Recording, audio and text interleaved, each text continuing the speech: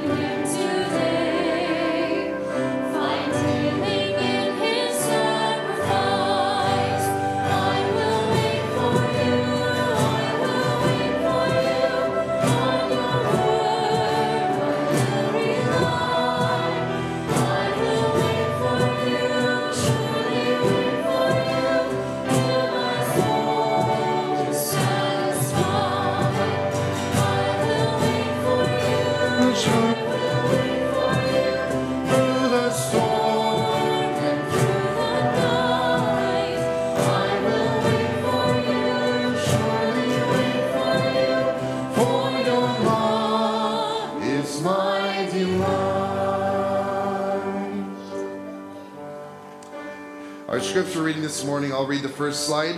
If you would read the second slide along with me, and we'll continue on to the end. Seek the Lord while he may be found, call upon him while he is near. Let the wicked forsake his way, and the unrighteous man his thoughts. Let him return to the Lord, that he may have compassion on him, and to our God, for he will abundantly pardon. For my thoughts are not your thoughts, neither are my ways your ways, declares the Lord. For as the heavens are higher than the earth, so are my ways higher than your ways, and my thoughts than your thoughts. For as the rain and the snow come down from heaven, and do not return there, but water the earth, making it bring forth and sprout, giving seed to the sower and bread to the eater so shall my word be that goes out from my mouth. It shall not return to me empty, but it shall accomplish that which I purpose and shall succeed in the thing for which I sent it. Let's sing together about our God, the uncreated one.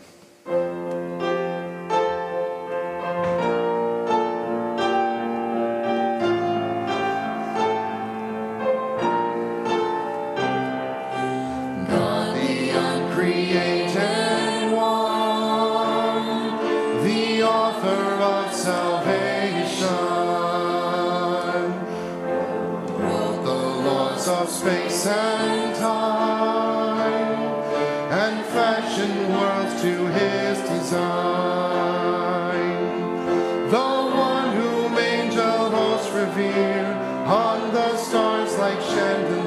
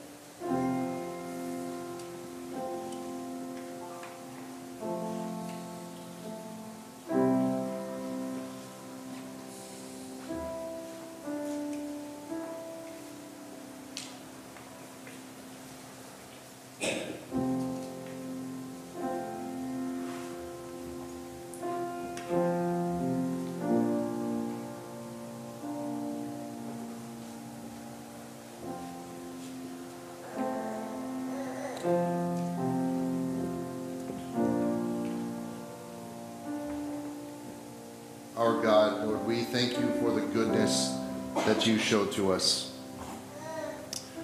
Heavenly Father, Lord, we are Lord, blessed to call you our Father. Lord, the goodness you show to us, not just through Jesus Christ, but through the graces that sometimes we take advantage of every day, even the small things, Lord. Lord, I ask that we would recognize you as, Lord, not just creator, but author of our lives. Lord, worthy of praise, worthy of glory in, from every aspect of how we live our lives, how we choose to live every single day. Lord, as we are about to hear Pastor Pete, Lord, come up and, and preach from the Word of God this morning, Lord, I pray that this next song would be true of us, Lord, that you would take your Word, take these truths from your Word and plant them deep inside us, Lord, shape and fashion us in your likeness. Lord, that the light of Christ might be seen in our acts of, of love and our deeds of faith. Lord, let us, Lord, seek, go out of our way, not to accidentally, Lord, become more like Jesus Christ, but to intentionally, Lord, to purpose in our lives and in our hearts to direct ourselves towards Jesus Christ. So it's no longer us who live, but Christ who lives in us and through us. It's in the name of Jesus I pray. Amen. If you would join me when you're able to, one last time in standing, let's sing together our final song before the message Speak, O Lord.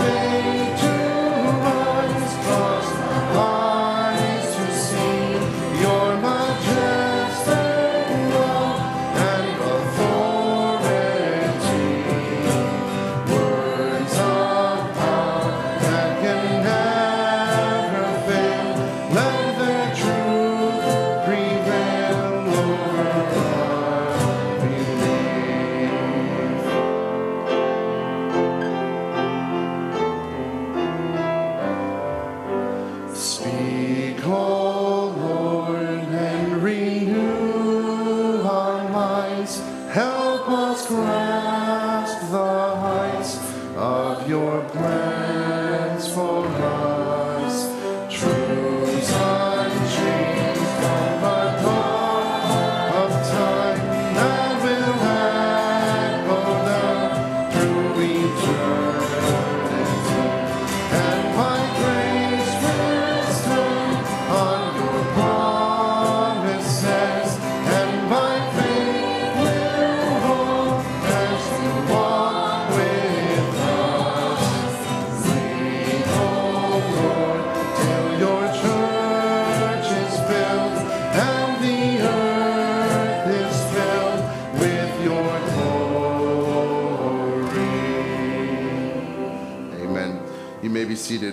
We are bringing back uh, junior or children's church, whatever you choose to call it. So children are now dismissed, ages four to eight. If you go to the back of the auditorium, Leah and Megan are going to be there. You can follow them downstairs.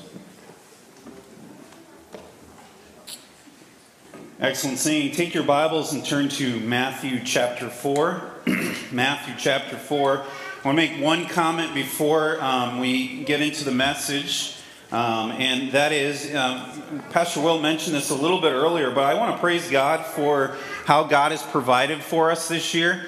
Um, I don't know if you saw it, but uh, we have ended the year in a positive financially which with everything going on and, and we've lost some people, we've had some people move, that's the answer of prayer. In fact, the number up there isn't even totally accurate. We ended the year with a positive $8,000. So I just want to thank you for being obedient and continuing to give to the church, and I encourage you to continue that practice through 2022. Matthew chapter 4 is where we'll be in a moment. My very first uh, mission or service trip that I was a part of when I came here to First Baptist was about 15 and a half years ago. Um, some of the people who went on the trip still serve in the church today. Some of them are moms and dads. But uh, we went uh, as this, the teen ministry, we went to Florida.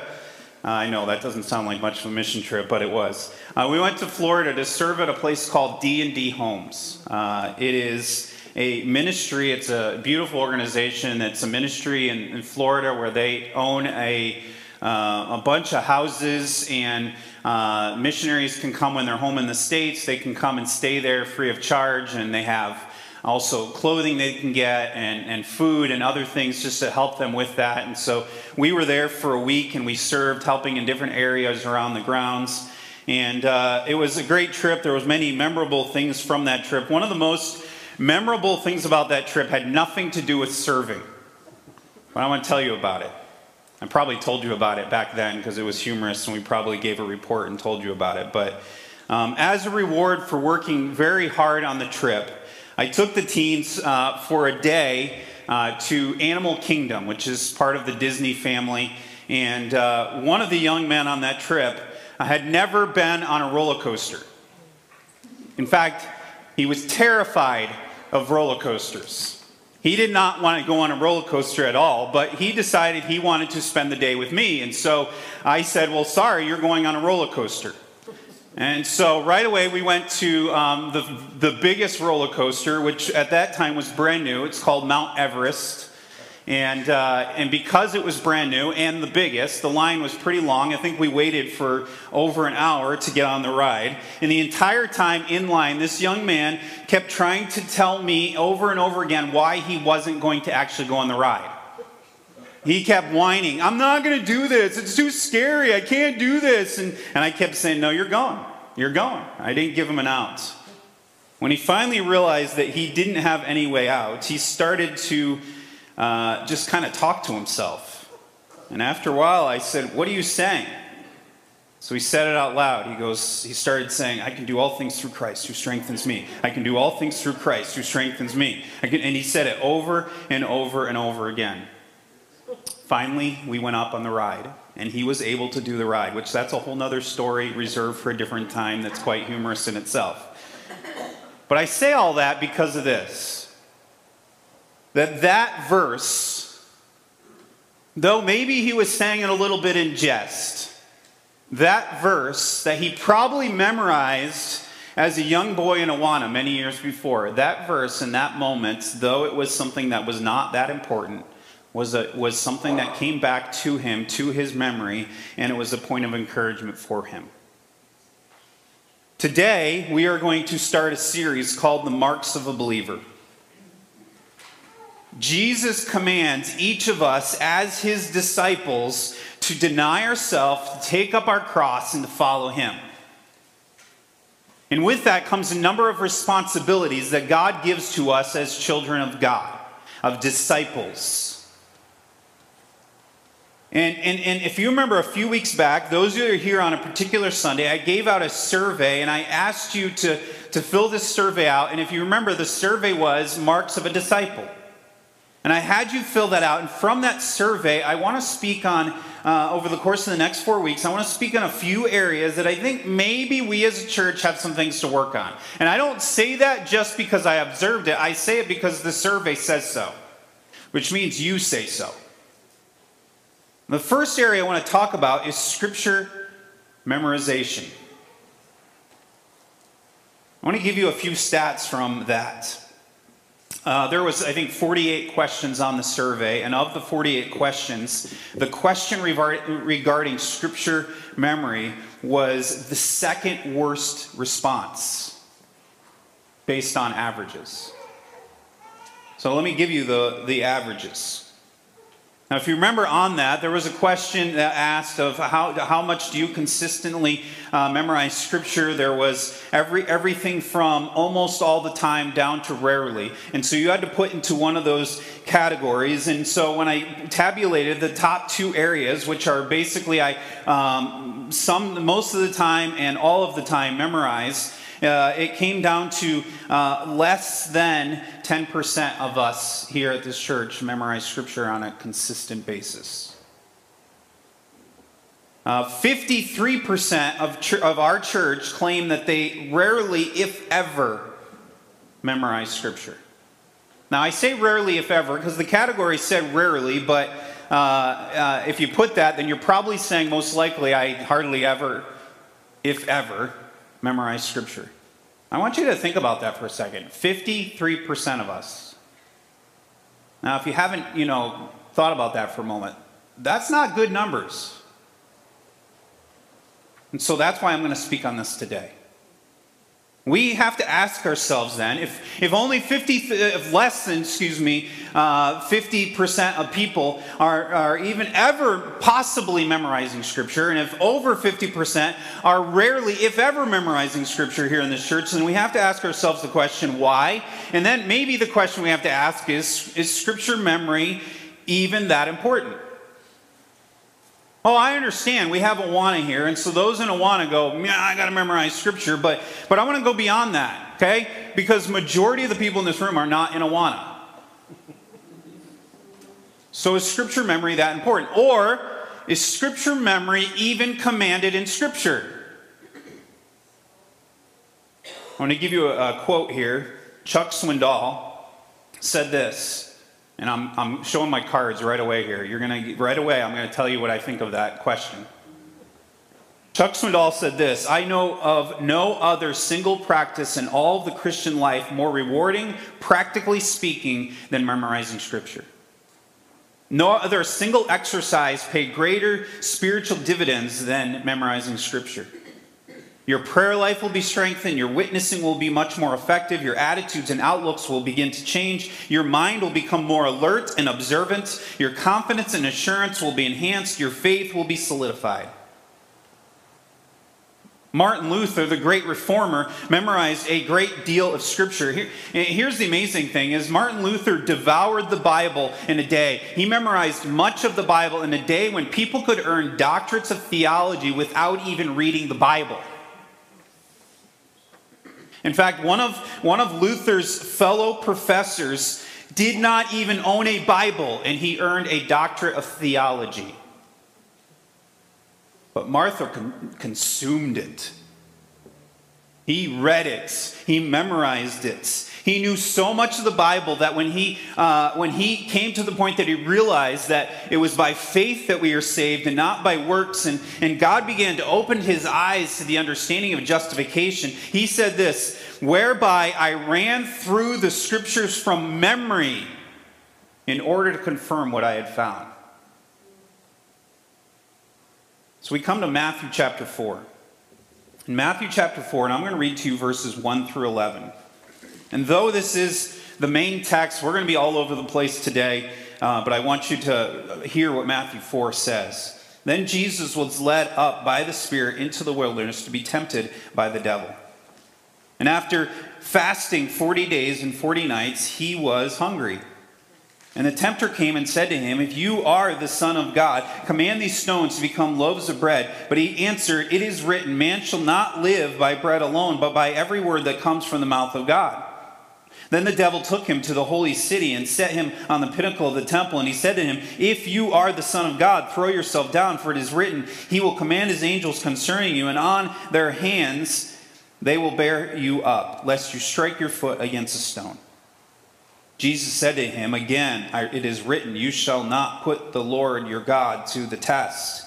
Again, the devil spoke uh, took him to a very high mountain and showed him all the kingdoms of the world and their glory. And he said to him, All these I will give you if you will fall down and worship me. Then Jesus said to him, Begone, Satan, for it is written, You shall worship the Lord your God, and him only you shall serve. Then the devil left him, and behold, the angels came and were ministering to him. Let's pray. God, I am thankful for the opportunity to preach this message. Lord, you know my heart, and you know this is an area that I myself need to work on. It's an area that I struggle with. Lord, I desire it, I attempt it, then sometimes I fail. Lord, so I pray that you'll help us as we go through this, that we will be open and honest with you and with ourselves. We ask that you work through this passage, and we ask this in Christ's name. Amen. Here we find the what I think is the best example of using scripture memory. And it's Jesus himself. So today I want to walk through what the Bible says and specifically the life of Jesus as an example of scripture memory. And at the end I have a challenge for you and I want you to think about and pray about even as I'm speaking if you will accept the challenge that I will give you at the end. But I want to look at a few things and, and talk about the area of Bible memorizations. First of all, I want to look at that Jesus is our example of scripture memory. The most important reason for us to memorize scripture is because Jesus memorized scripture. Jesus memorized scripture. The goal of every disciple of, G- of Christ should be to become like him, to be like Christ. We're not merely here to just fill out. We were talking about this in Sunday school. In our Sunday school class, we're going through the topic of prayer. We were talking about sometimes in prayer, it's just kind of like another checklist item. I got to pray, I got to pray. So, man, I got this list. And sometimes I think that we think Christianity is merely, I got to do these things. And if I do them, then I'm pleasing God or I'm pleasing a preacher or obeying what, what he has to say. Instead, the goal of every Christian, every Christian should be like Christ. In fact, it even goes farther than that. Notice what it says in Romans. We know this, we know Romans 8:28 well. We know that for those who love God, all things work together for good. We love that verse. For all those who are called according to his purpose. But notice the next verse. For those whom he did foreknow, for those that God looked down and said, I choose you. I knew that you were going to be my son, my daughter in Christ. For those of you who he foreknow, he also predestined. And what did he predestine? What he did, what did God predetermine that you were going to do? That you were going to be what? Conformed to the image of his son. So, therefore, when we look at that, our goal in life is to become like Christ. So, how better to know what Christ is and to, and to, to be like Christ than studying Christ's life? And so, when we talk about scripture memory, the number one reason to memorize scripture is because Christ memorized scripture. And I want to see Christ used it in two distinct ways. First of all, Christ used scripture memory in his personal life. We see that most clearly here in, in Matthew chapter 4. And, and I don't need to go into detail of this story, but uh, Jesus was led by uh, the Spirit. Notice it says he's led by the Spirit. He wasn't led by uh, the temptation, he was led by the Spirit. In the midst of that, he's, he's fasting 40 days and 40 nights as he gets ready to go into his ministry. Uh, isn't that amazing? The Son of God fasted and prayed. That's a whole nother one that we'll get to. He fasted and prayed for 40 days and 40 nights. You know, it's easy to kind of just pass it off. Well, he's, he's God. Doesn't he just do anything? No, he still took the time to pray and contemplate what God had for him. And in the midst of that, in the midst of hunger, the tempter, Satan, came. And he tempted him with three things which mirror how, how, what, the same things he tempted Eve with. But he tempted him with three things. First of all, he says, If you are the Son of God, command that these stones become loaves of bread. Oh, man, that makes sense, right? He's hungry. And how does Jesus respond? He responds by quoting Scripture. It is written, Man shall not live by bread alone, but by every word that comes from the mouth of God. Devil goes on again, takes him to the, the holy city, sets him on the pinnacle, and he says, If you're the Son of God, throw yourself down. And then Satan himself quotes from Scripture and says, If you do that, the angels will come and they'll sweep you up and they'll save you. And, and Jesus says again, It is written, You shall not put the Lord your God to test. The third time, the devil comes and takes him to a high mountain and he shows him all the kingdoms of the world. And he says, If you will bow down to me, I will give you all these. Jesus again quotes from Scripture You shall worship the Lord your God, and him only you shall serve. Every time that he was tempted personally, Jesus responded by quoting scripture. He did not have some sort of big scroll with him that he unrolled and, and you know, he had to quickly find, go to the index and find uh, where, where these verses were. No, they were, they were there in his head. And when he was tempted, he responded immediately by quoting these scriptures. I know right away some of you are thinking this, so I'm going to address this. Some of you are thinking, isn't he all knowing? Did he really have to memorize scripture? I mean, if he is God, that means he knows all things. So, did, did he really have to memorize scripture? Well, I'm going to take you to a couple passages where I think, well, I, in my opinion, and I could be wrong, but I, oh, I don't think so, I think he had to memorize scripture. First of all, we go to uh, uh, Philippians chapter 2, and this is a fantastic passage talking about what Jesus Christ did for us. And, and, we're supposed to follow his examples, the idea of that passage. It says, Who, that's talking about Jesus, who, though he was in the form of God, though he was God, did not count equality God a thing to be grasped. In other words, he did not hold on to it tightly, but instead he let it go and he emptied himself. He became the form of a servant, being born in the likeness of man. I believe that Jesus Christ, when he came to earth, he emptied himself. That does not mean that he had that he ceased to become God. No, that does not mean that he didn't have the ability to do uh, what he did as God. No, we see he performed miracles, but he emptied himself. He became, came to earth. He didn't come and born on Christmas Day and suddenly, uh, you know, he knew everything an adult knew. He just kept it inside. You say, how do you know that? Look what it says in Luke chapter 2 and, and verse uh, 52. It says, And Jesus increased, he grew in wisdom, stature, and favor with God and man. If he, if he uh, was all knowing, all that, as a human at that moment, he wouldn't have to grow. But he grew. And so I believe that Jesus memorized scripture. We don't see much of his childhood, but I believe that he uh, would have gone in, to the temple, and we do see that at one point, but I think he would have gone to the temple and on a regular basis. He would have heard the scripture and he would have applied it. He probably uh, would have sat under the, the teachings of a, a rabbi and would have learned, and as was very common for Jewish boys to do at the time, to sit under a rabbi and, and be taught uh, the, the scriptures. And I believe that we see this from Christ. We see other times in Jesus' life, personal life, when he brought out scripture. Remember when Jesus was on the cross and he's and, and he's standing there and he says, My God, my God, why have you forsaken me? Which was actually a quotation from Psalm 22. Or, or later on in, on the cross, when he's about ready to breathe, breathe his last breath, and Jesus cries out with a loud voice, Father, into your hands I commit my spirit, which is a quote from Psalm 31.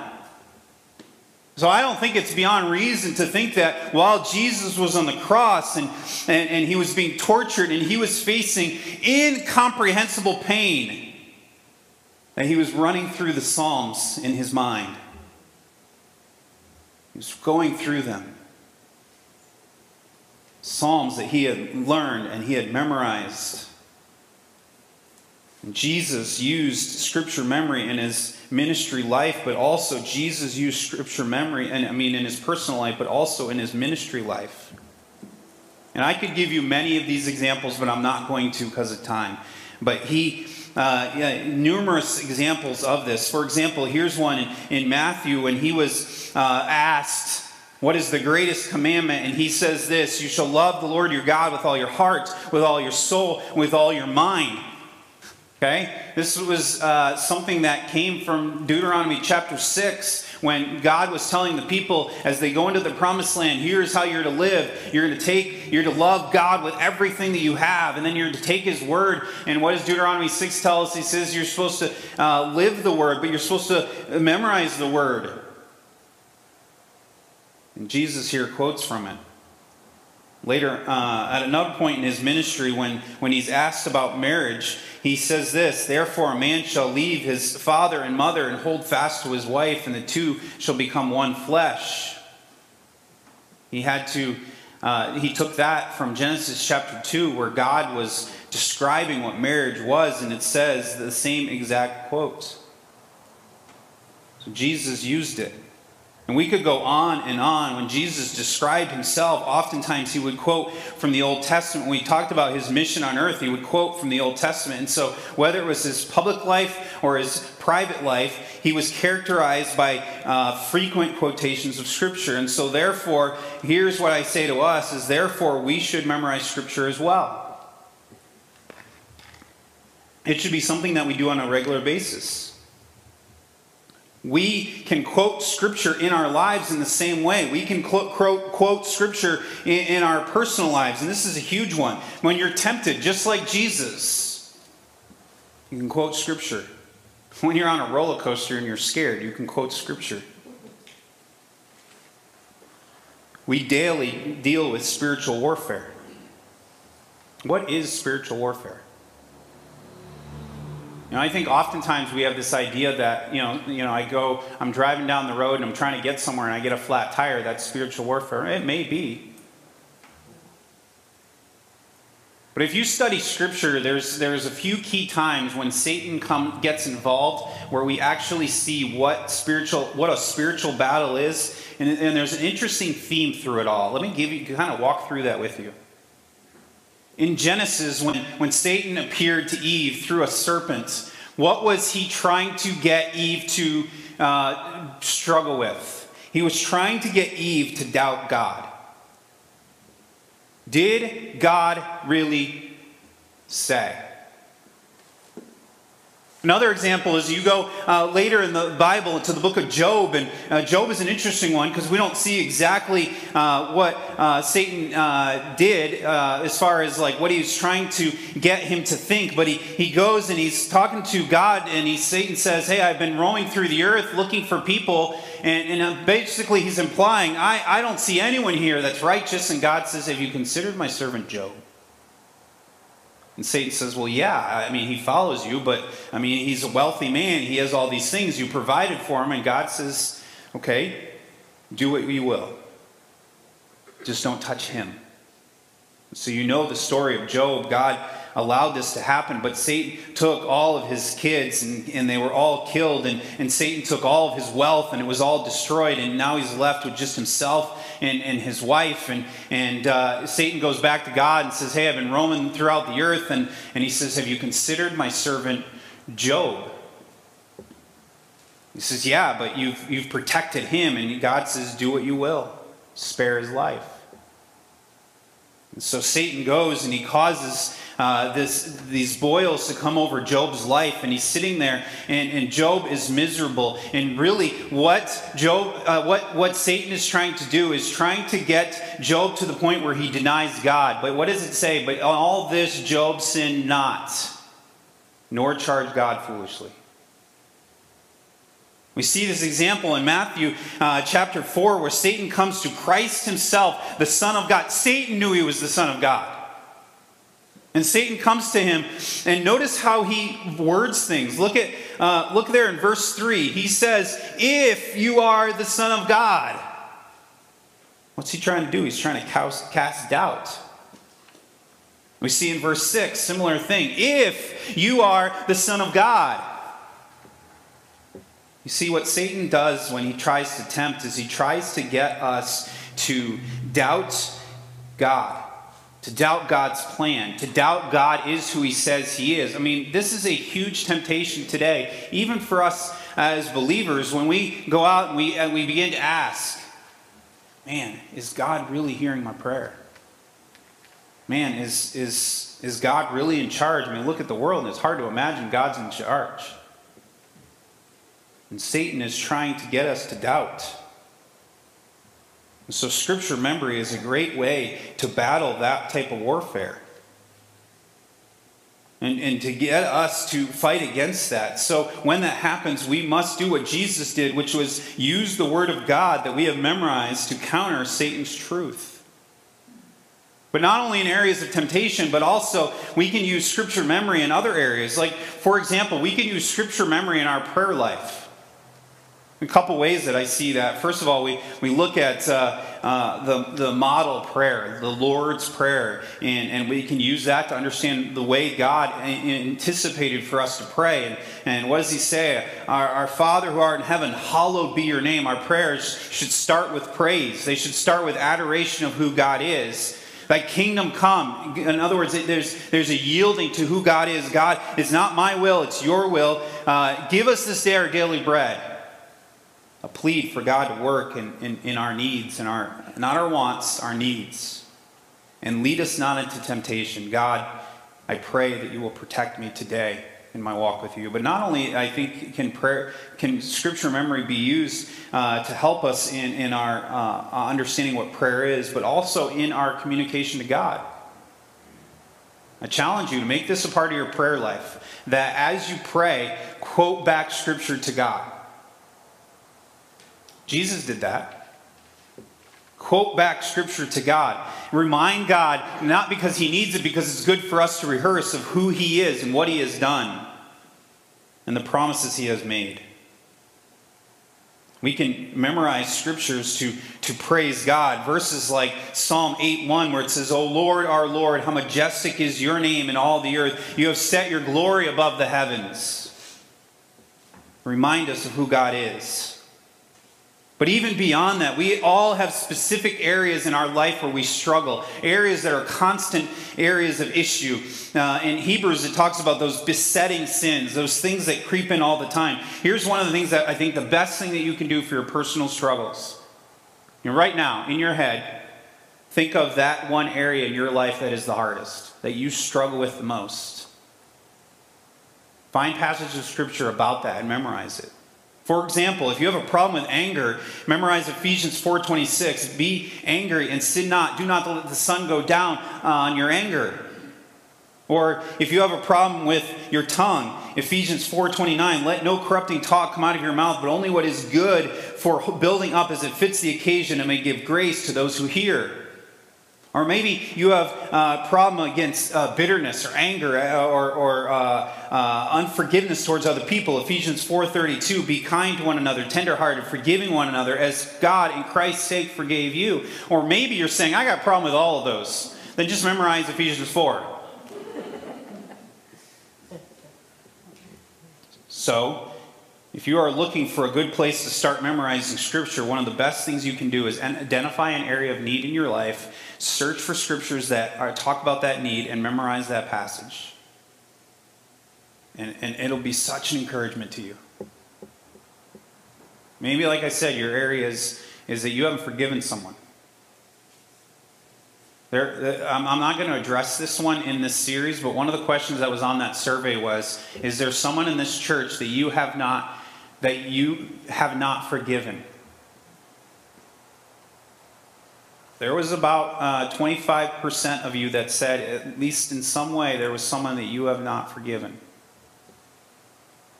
That shouldn't be as a church. And we look at this passage and he says, Forgive. I love the quote Forgiven people forgive people. We have been forgiven by God, so we have to forgive. Maybe that's an area you're struggling with, and you need to find, find passages of Scripture that bring that to mind when you're struggling. But not only can uh, Scripture memory aid in our personal life, but also it can aid in our ministry life. Just as Jesus constantly quoted Scripture in his public ministry opportunities, we have numerous occasions to use verses that we have memorized to serve God as we minister to the place that God calls us to minister. It can help in outreach and evangelism. When, you, when you're uh, talking to someone, maybe uh, you're, you're in a store, or maybe you're talking to someone you work with, and, and, and you begin to share the gospel, then all of a sudden you go, Oh, I don't know, I don't have my Bible on me. I can't remember. Memorize it. Memorize the, the Romans Road plan of salvation. So you can quote it at any moment. It'll help you with outreach, it'll help you with parenting. Oh man, this, this is the case a lot of times for me as a parent. When I, uh, I'm talking to my kids and uh, I, I quote scripture, I think of a verse and, and I talk about that verse, and, and, and it'll help you with parenting. It'll help you uh, with preaching and teaching. It'll help you with disciple making. It'll help you with the ministry of encouraging others. It's, it's much better to quote a promise of Scripture and a promise of God than to give someone our advice. Scripture memory. Just as Jesus continually quoted and used the Word of God in his personal life and in his ministry life, we can have countless opportunities to use Scripture that we have memorized in our own life. As we wrap up in the next few moments, what I want to do is I want to give you some practical observations about Scripture memory. Practical observations, then I'm going to end with a challenge. First of all, we need to understand the object, objections against Scripture memory. I don't think any Christian doubts the necessity of memorizing Scripture. I don't believe that. I believe whether you're honest, you know that God wants you to do that. God has commanded you to know His Word. But many of us have various reasons why we think we can't. Remember, 53% of us say we rarely, if ever, memorize Scripture. If you bring in those who say sometimes, it's 80%. We know that we should memorize Scripture, but very few Christian adults actually do. Many of us have all the excuses lined up, don't we? I don't have time. Uh, uh, I, I'm just not good at memorizing things. I'm too old to memorize things. All of us have used one or more of those, uh, of those excuses. And like many things that Satan uses to tempt us, there is element of truth in each of those objections. I know that we're all busy. I know that some of you, man, you are so busy. You're running here, there, everywhere. Some of you, man, you, have got a business you're running, and, and you're just, you're always constantly moving. Some of you, man, you're, you're a mom of many kids, and you don't have time to stop and memorize. Some of you, you're just, you're, you're involved in, in multiple jobs. Some of you, and I could go on and on and on. We're busy. That's, that's just an excuse. I know that not everyone is as good as memorizing scripture as other people are. There are people that have photographic memories, and most of us don't. Some of us have to work really hard at it. Some of us have to take the time to memorize. But I challenge you to do it. I know it's also true that, that some of us, some people, as they get older, as we age, we lose our ability to memorize things. I mean, children are way better at it. That's why they can sit down and memorize verses in Awana just quickly. And we struggle through it. But those things are just no excuse to not memorize Scripture. I mean, there are other areas we could use that excuse. Oh man, someone might say, hey, I find it really hard uh, to, to stay morally pure. So, would we suggest that they don't even try? No. Well, I find it hard to memorize.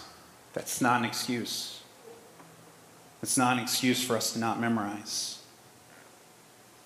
In fact, I, I, I um, go as far as to say this that we actually do memorize things on a regular basis.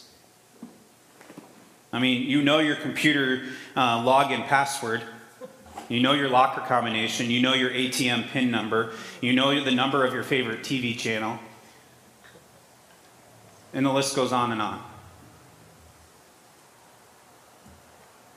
For many of us, the problem is not that we can't memorize, it's that we haven't made it a priority to memorize. It's that we really don't believe Psalm 19 when it says that God's word is more to be desired than gold. We think other things are more desirable. You know, maybe you say, I'm, I'm getting older and it's harder for me to remember things as I get older. I, I, I understand that. But you know, re- new research has been released recently that found that older Americans can improve their memory in as short as 14 days by just simply making lifestyle changes, including doing memory exercises. It's, it's real. A number of years ago, my mom started doing uh, um, puzzles like Sudoku and stuff, and the reason was is because she would told it would impre- increase her memory and help her brain. We can do those things and it'll help. So it is true that many of us can, and even as we get older, memorize scripture. So the question is not really our ability, but our obedience. Second practical thing that we want to talk through is we need to, here, here's my suggestion, is attempt to memorize larger portions of scripture rather than several uh, uh, uh, assorted verses.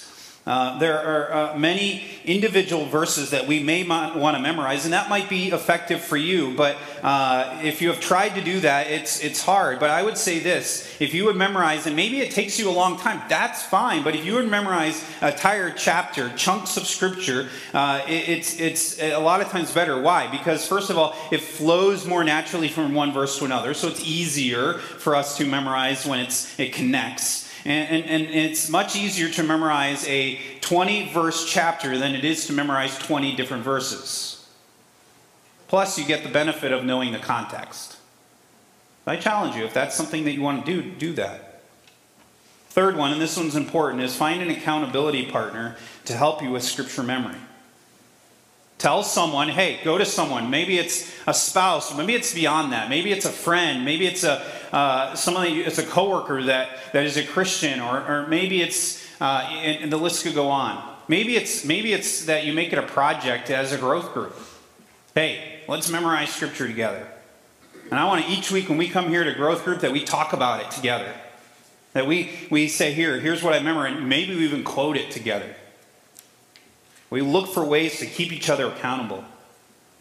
You know, accountability works in many ways. Uh, many of you maybe have been a part of before of a accountability. A number of years ago, um, I was a part of an accountability group. It was a guy that I went to college with. One day, put on Facebook, "Hey, I want to lose weight and I can't do it alone. How many of you want to join me?" And a bunch of us joined, and and uh, I, I remember doing that with him. And, and it was that accountability of every every Monday we had to put for I don't remember how long it was. We had to put on Facebook, not public, but in our group, we had to put how much weight we had lost and and all this stuff.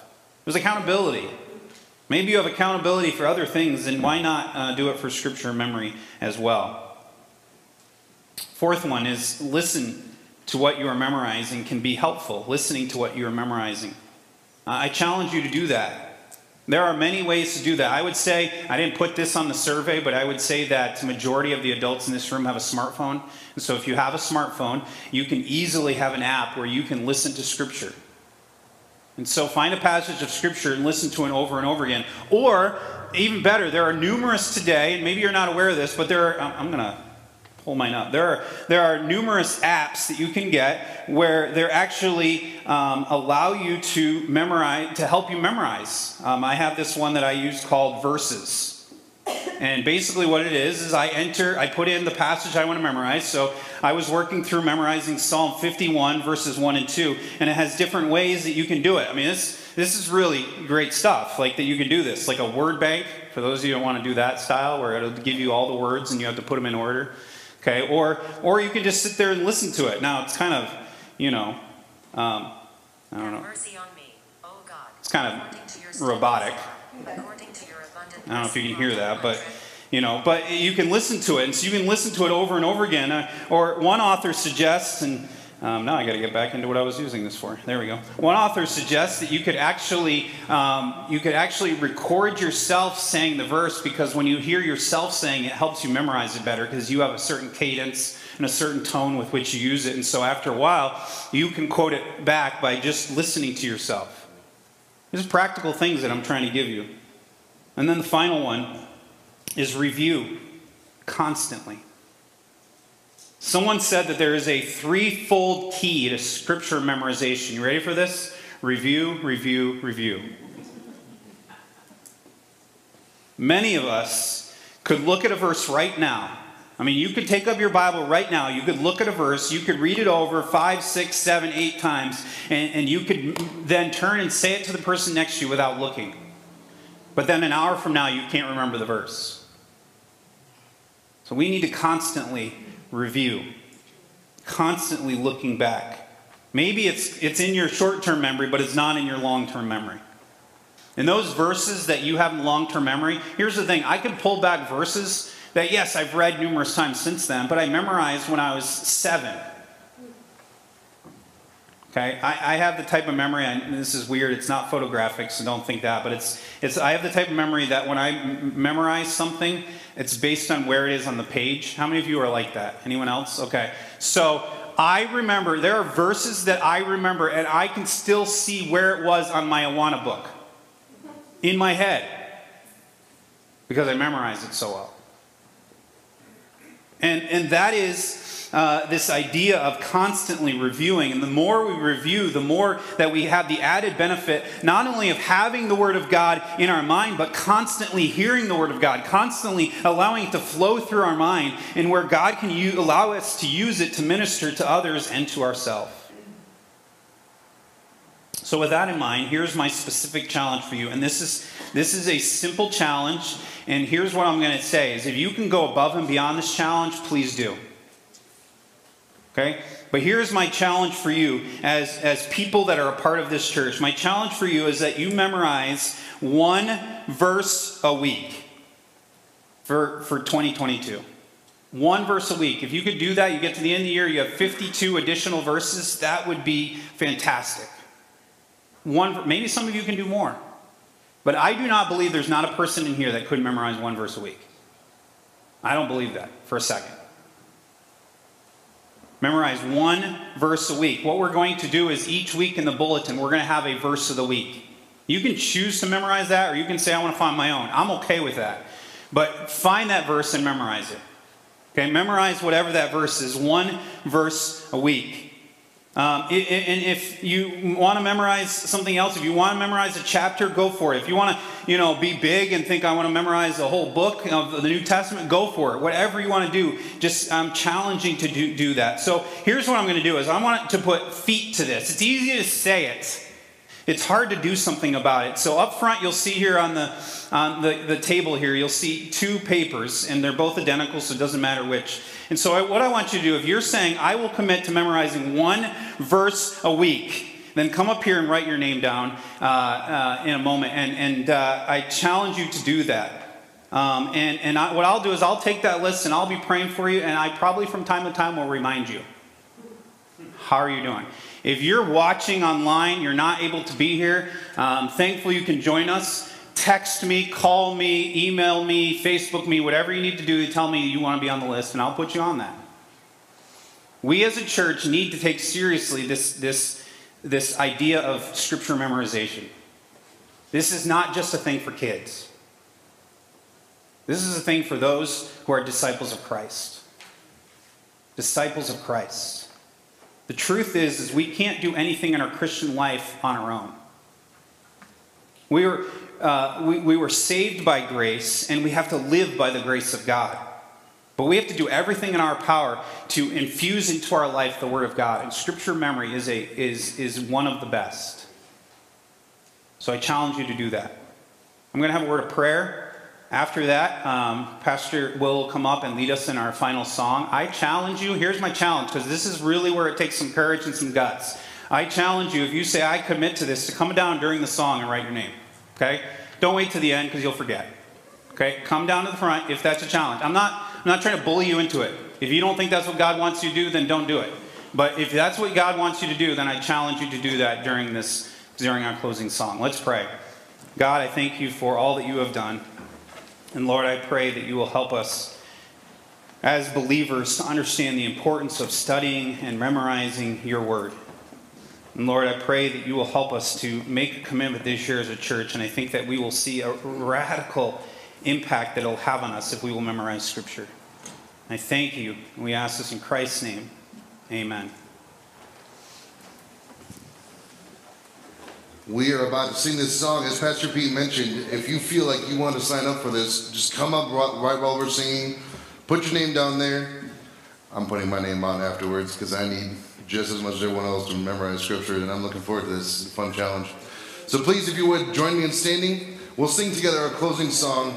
This is the Word of God.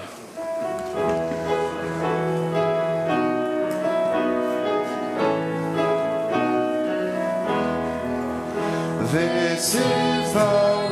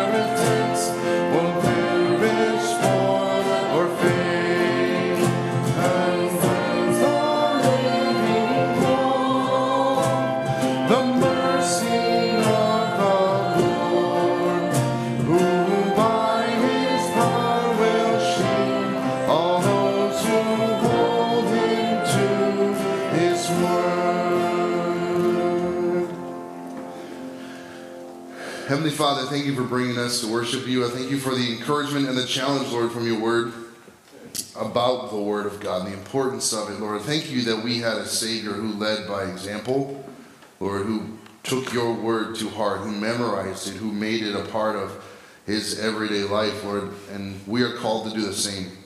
So, Lord, let us take this challenge from your word, about your word, to heart.